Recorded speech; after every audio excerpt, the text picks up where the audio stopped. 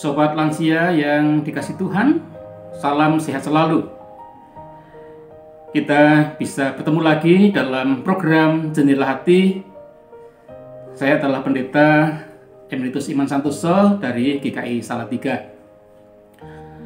Firman Tuhan yang mau kita renungkan adalah dari Matius 5 ayat 16 yang berbunyi Demikianlah hendaknya terangmu bercahaya di depan orang, supaya mereka melihat perbuatanmu yang baik dan memuliakan Bapamu yang di surga.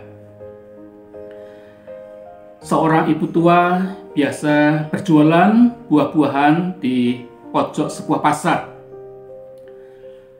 Pada saat jam pasar yang ramai, biasanya orang berdesak-desakan membeli kebutuhan mereka. Tiba-tiba barang dagangan ibu tua itu jatuh berserakan, mungkin tersenggol oleh orang yang berlalu lalang. Ibu tua itu meraba-raba di tanah mencari barang dagangannya yang tercecer. Rupanya mata ibu tua ini agak rabun dan tidak bisa melihat dengan jelas. Dan orang banyak yang hilir mudik tidak satu pun yang memperhatikan ibu tua ini. Tiba-tiba ada seorang anak kecil yang berhenti mendekati ibu tua ini dan membantunya mengumpulkan barang dagangannya yang berceceran tadi. Ia telah berbuat baik kepada ibu tadi.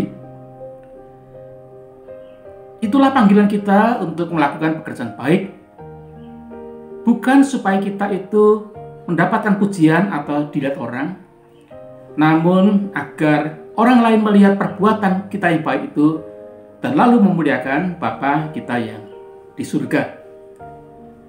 Marilah kita bersama-sama mengisi kehidupan kita untuk melakukan perbuatan baik yang bisa kita lakukan.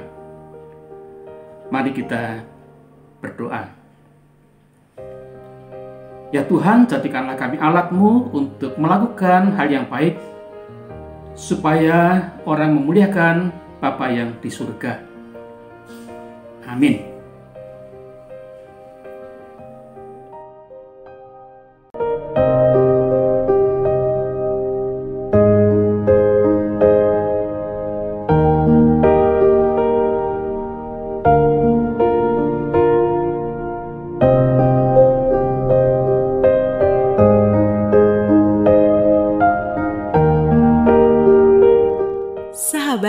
Mari dukung pelayanan dan pekabaran Injil melalui YKB dengan membagikan link acara ini kepada sebanyak mungkin orang.